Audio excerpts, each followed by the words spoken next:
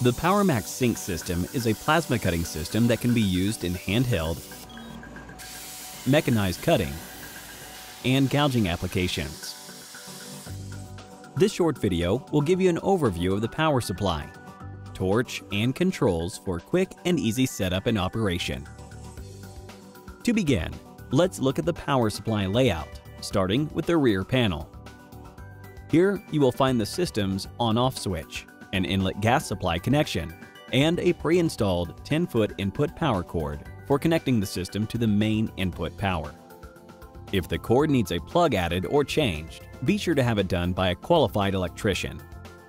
If the PowerMax Sync you have is a mechanized version, you will find the optional circular plastic connector, or CPC port, and RS-485 serial port connections on the rear panel.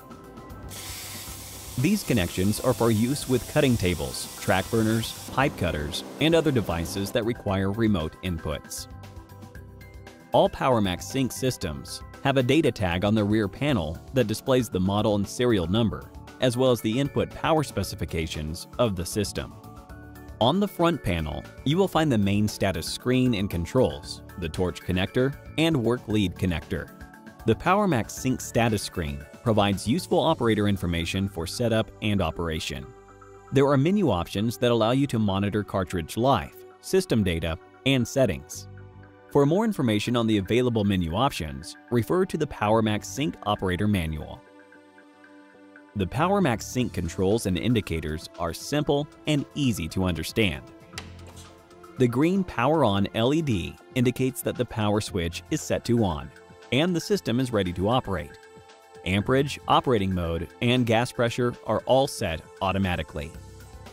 Adjust the cutting current at any time with the adjustment knob. To adjust gas pressure, push and hold the automatic manual pressure setting mode selector until the green LED comes on to go into manual mode. This will allow you to make manual changes to the gas pressure using the adjustment knob. Push the button again to go back to automatic mode. The operating mode LEDs are automatically set when a cartridge is installed. The mode button can be used to switch between cut modes for applications such as expanded metal or metal grating. The yellow fault LED indicates that there is a fault with the power supply. Refer to the operator manual for fault code descriptions. The included SmartSync torch can be installed onto the power supply by inserting the Fast Connect into the torch receptacle until it clicks into place. Once connected, you will notice on the torch an integrated lock switch, which disables the torch and prevents the torch from firing accidentally when the power supply is on. This feature is useful when you need to change the cartridge or when you need to move the power supply or torch when the system is on. The torch has two status LEDs, one multicolored LED, which indicates when the torch is ready to fire, locked, or if a severe fault condition has occurred. The second status LED indicates when a gouging cartridge has been installed.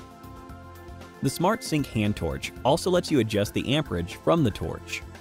Push the button on the current adjustment control to adjust the current setting to a preset amperage. The amperage for each setting varies based on the PowerMax Sync cartridge and system being used. To install the work lead cable, Insert the end of the work cable into the connector on the front panel of the PowerMax Sync. Turn to the right until locked in place. To complete setup and operation of the PowerMax Sync, plug the system into the appropriate power and add an air source that meets the system's requirements. Power the system on and ensure the SmartSync torch and work lead cable are properly installed. Attach the work clamp to a table or workpiece and install a cartridge be sure to always wear the appropriate personal protective equipment when operating a PowerMax Sync. You are now ready to use the system.